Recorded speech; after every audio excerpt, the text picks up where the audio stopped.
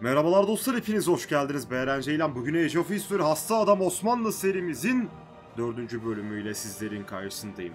Geçtiğimiz bölümde İspanyol ve İtalyanların emperyalist emelleri sebebiyle bize savaş açtıklarını gördük.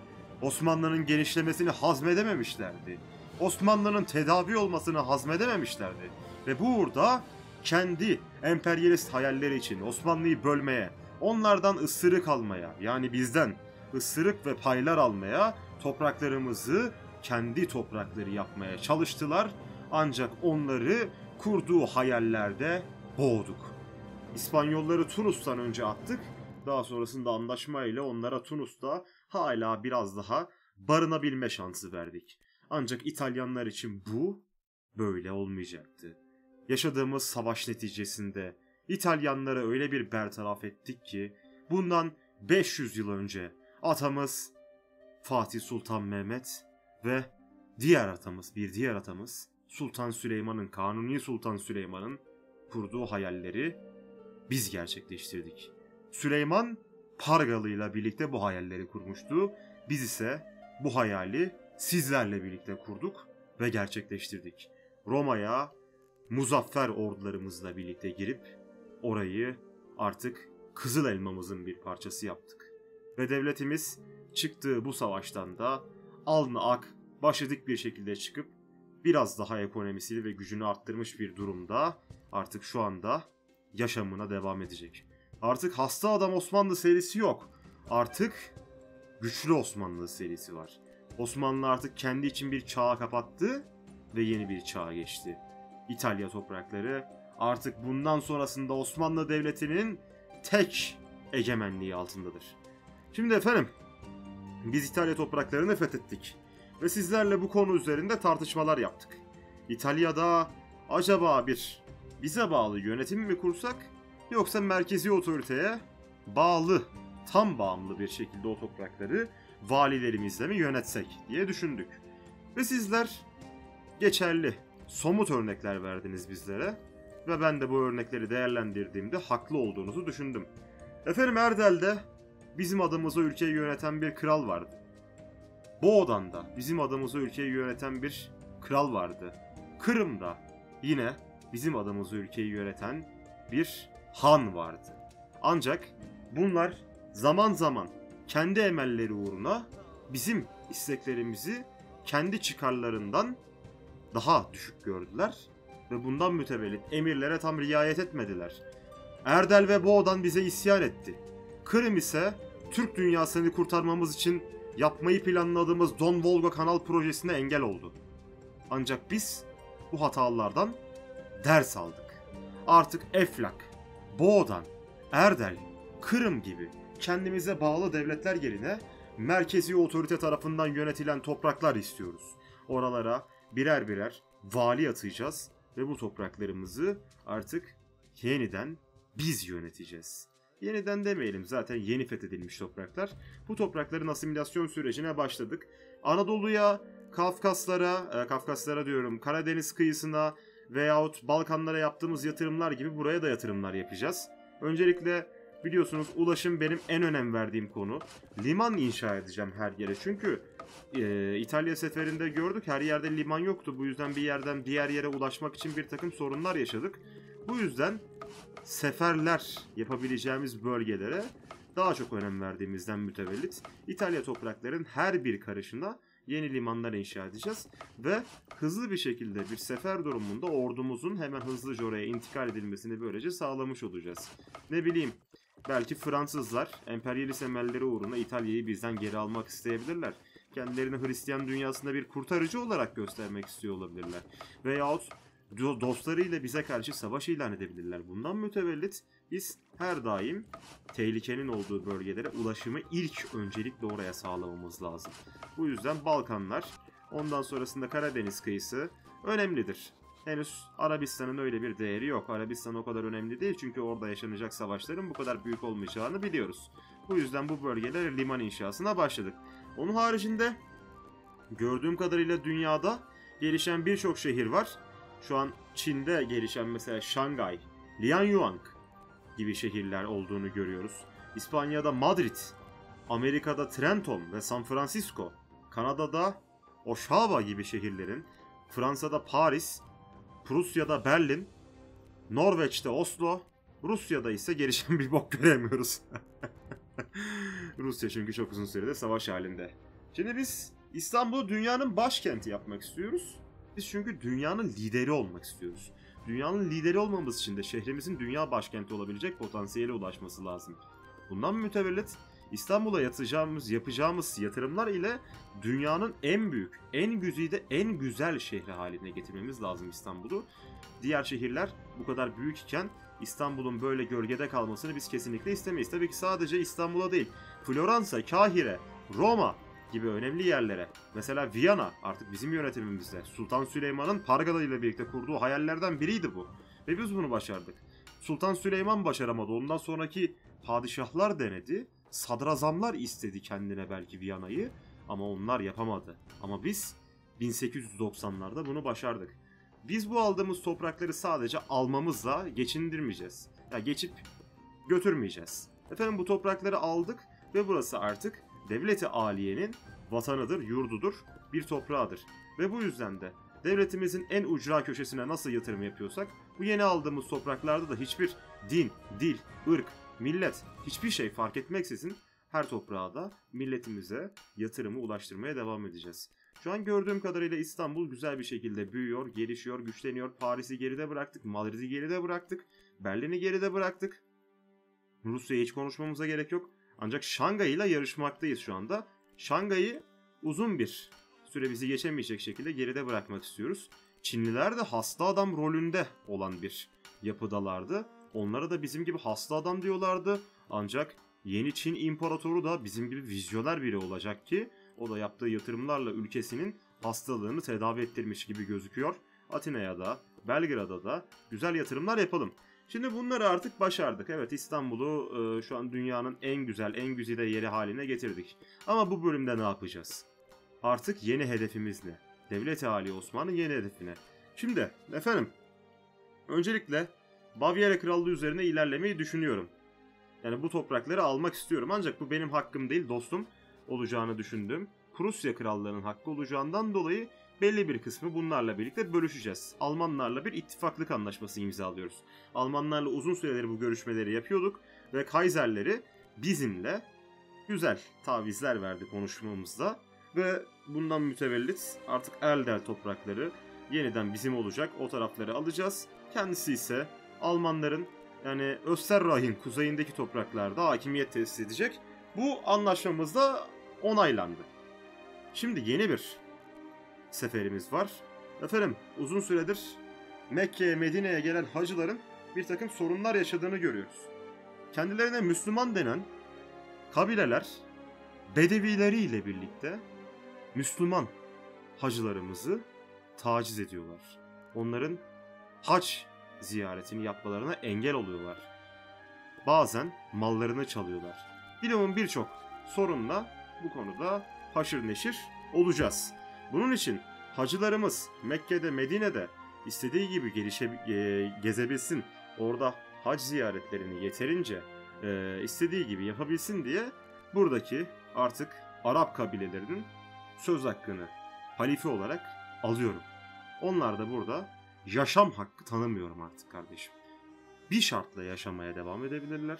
O da artık dünyanın lideri olan Devleti Ali Osman sancağı altında o güneşe bakarak yaşayabilirler. Bizim güneşimizde yaşamak istemiyorsanız, gölgelerde saklanmak, hak yolda ilerlemek istemiyorsanız kardeşim, ben size yaşam vermem. Ben sizi buradan sürerim. Hacılarımıza zarar veren bu Arap kabilelerini artık ortadan kaldıracağız. Ve merkezi otoritemizi Arabistan'ın içlerine dahi getireceğiz diye düşünüyorum. Hatta ordularımızı bunun için hızlıca bölgeye göndermeye başlayalım. Gerçekten bu Arap kabilelerinin yaptıklarından cidden canım sıkıldı ki sürekli Osmanlı Devleti'ne ortak olduklarını düşünmeleri de benim oldukça canımı sıkıyor. Geçen bir teklif geldi bunlar. Neymiş efendim?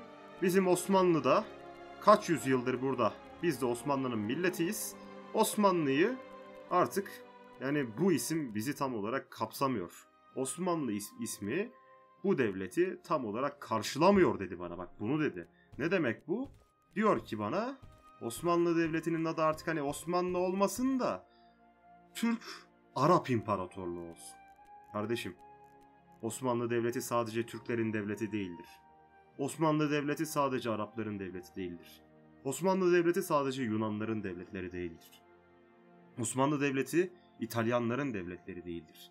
Osmanlı Devleti tüm dünyanın devletidir ve ismi Osmanlı olarak kalmaya devam edecek. Araplar bizden sürekli taviz beklerlerse alacakları tek şey muhteşem ve hiçbir zaman geç kalmadan üstlerine çöken gücümüz olacaktır. Bu talepleri kendilerinden dinledim ve artık cevabımı vermemin zamanı geldi. Arapların artık demek ki bu ülkede yaşamak gibi bir istekleri yoksa yani gelsinler isyan etsinler efendim. Bunları zaten sürekli dile getirdiler. İsyan edebileceklerini sürekli dile getirdiler. Osmanlı'yı bölmeye çalışacaklarını sürekli dile getirdiler. Ki ben biliyorum ki oraya içeriye soktuğumuz ajanlardan dolayı büyük bir dünya savaşı çıksa, devletimiz dünyada büyük bir savaşa dahil olsa ve askeri kuvvetlerini düşmanlarla savaşmak için gönderecek olsa bunlar bizi sırtımızdan vuracaktır. Ben biliyorum. Bu yüzden onlara kimi sırtından vuracağını göstermemiz lazım. Kimi vuracağını, kimi vuramayacağını, bizim gücümüzün ne olduğunu ve onların ne olduğunu göstereceğiz. Artık Arabistan'da temizlik operasyonu başlamıştır. Devleti Ali Osman'ın gölgesi artık sizin üstünüze çökecek. Güneşinde artık güneşlenmek istemiyorsanız gölgesinin karanlığında boğulursunuz kardeşim. Söyleyeceklerim bu kadardır. Hadi bakalım. Arabistan'da artık tek hakimin kim olduğunu görsünler. Artık buraya da Arabistan demeyeceğim ben. Bu bölgenin adı Arabistan değildir. Bu bölgenin adı İslam Yarımadası'dır. Bundan mütevellit. Koyduğum isim bu. İslam'ın doğuşundan dolayı bu ismi vermeyi uygun gördüm. Kabul eden eden, et, kabul eden eder, etmeyenler ise kahredici kudretimizle, kudretimizle yüzleşir. Kimse bu devlete ortak olmaya çalışmasın. Bu devlet bir hanedanın devletidir. Bu devlet bir cihan devletidir. Bu devlete ortak olunmaz. Bu devletin tebaası olunur, milleti olunur, yoldaşı olunur. Fazlasını isteyenler ise ne olacağını görür. Bu Avusturya devleti kimdir? Ben bunu ilk defa görüyorum. Hmm, bu arkadaşı da evet. Eğer savaşta bize karşı çatışacaksa ona da gerekli cevabı veririz. Hiç sıkıntı yok. Bizim yanımızda olmayacaksa, karşımızda olacaksa gerekli cevabı herkese verdiğimiz gibi kendisine de verebiliriz. Hiç sıkıntı yok. Hiç sıkıntı yok. Devleti Ali Osman'ın hiçbir korkusu yoktur bundan mütevellit. Bizden önceki padişahları tehdit ederek tehdit yoluyla bir takım batılı devletler, emperyal devletler tavizler kopardılar. Kapitülasyonlar kopardılar. Eskiden Osmanlı kapitülasyonlar veriyordu.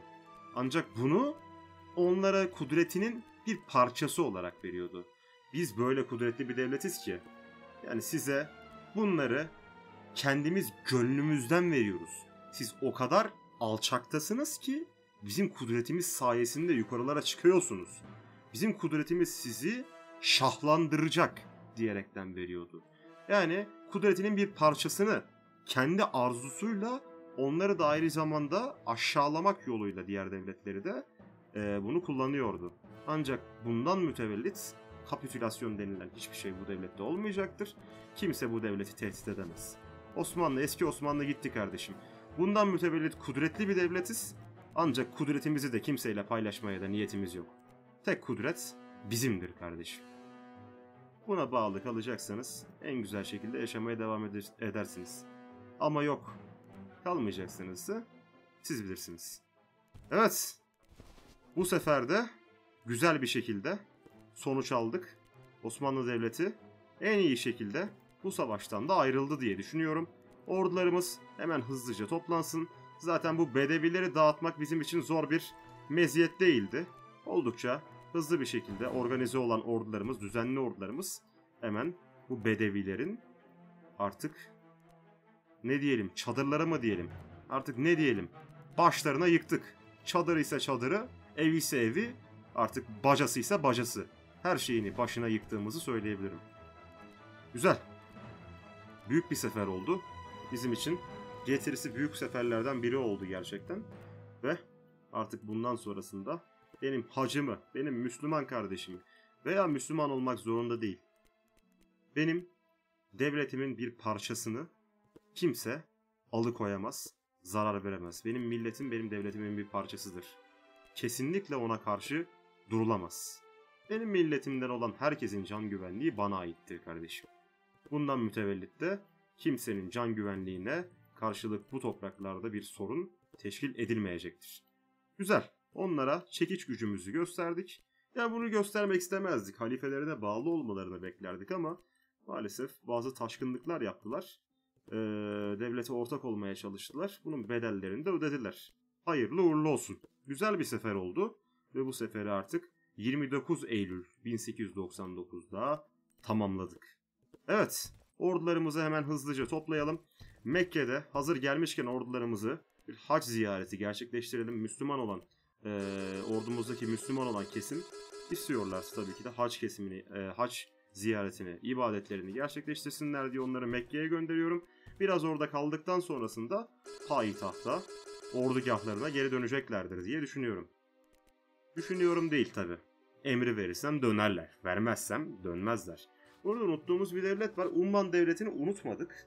Umman e, bizimle bazı problemleri vardı ama kesinlikle böyle tehlikeli oyunlar içinde olmadı. Şu anlık bu yüzden Umman üzerine bir sefere çıkmayı düşünmüyorum. Şu an gereken cezası kesilmesi gereken herkese cezasını kestik. Ama Umman dediğim gibi kesinlikle böyle bir oyunların içerisinde olan bir devlet değildi. Bir yapı değildi. Ama bir gün eğer bize karşı gelmeye cesaret ederse, bir gün bizim arkamızdan vurmaya cesaret ederse ki bunu yapmaya çalışanların az önce başlarına neler geldiğini gördü. Sanmıyorum böyle bir şey yapacağını ama ona da kahredici kudretimizle gereken cevabı gerektiği yerde gerektiği zamanda veririz. Ne oluyor ya? Efendim yine gün geçmiyor ki ayaklar baş olmak istemesin. Efendim biz bunları söyledik. Sizin o sevdiğiniz kendine Mısır Sultanı diyen adama da söyledik. Ayaklardan baş olmaz, baştan da ayak olmaz. Oo! Devletimize karşı kurulmuş bir koalisyon görüyorum. Vay vay vay vay vay. Ve bu savaşa Afrika'yı söm Afrika'yı diyorum. Amerika'yı sömüren alçak emperyalist devletlerden Portekiz de dahil olmuş. Vay vay vay vay vay. Avusturya ile burada hemen hızlıca ordularımızı diziyoruz. Efendim hac ziyaretinizi gerçekleştirdiyseniz biraz dinlenmeniz için payitahta gönderiyorum sizleri. Bu savaşta ordumun o kısmına ihtiyacım olmayacak. Onlar yeterince yoruldular artık. Biraz dinlenmelerini istiyorum. Portekiz'in bu yaptığı hareket yani benim için gerçekten üzücü oldu. Portekiz'e bir vali atamanın zamanı gelmiş anladığım kadarıyla. Bu arada Almanya ile yaptığımız anlaşmayı da hemen hızlıca uygulamamız gerekmekte. Belki şimdi değil ama onu hemen yakın bir dönemde uygulayacağız. Almanlarla bir anlaşma yaptık sonuçta. Onlar istedikleri toprakları ben de ise Erdel topraklarını alayım. Şu topraklar da Erdel'e dahil sonuçta. Gerçi dahil değil şu şekilde miydi Erdel? Neyse fark etmez ben dahil ediyorum kardeşim. Var mı? Karşı çıkan var mı? Karşı çıkan ya şimdi konuşsun ya da sonsuza kadar sussunlar. Ya karşı çıkınca da her halükarda sonsuza kadar susacak zaten. Çıktıktan sonra. Çünkü çekiş gücümüz onun da başını ezecek. Güzel. Devletimiz ona engel olmaya çalışanları her zamanki gibi eziyor. Bir süreliğine bizi hasta adam sandılar diye bize karşı bir şeyler yapabileceklerini sandılar. Ama o hasta iyileşeli çok oldu çok. O hasta artık hasta değil. Artık sizi hasta ediyor. Güzel. Bu seferlerle birlikte de hak ettiğimiz yerlere daha fazla ulaşacağız ve burada özellikle gerçekten bakın şu boğaz çok önemli. Adem Boğazı çok önemli. Buradaki devletlerin bize karşı olan e, hamlelerinin yüksek ihtimalle zaten karar vericileri kendileri değiller.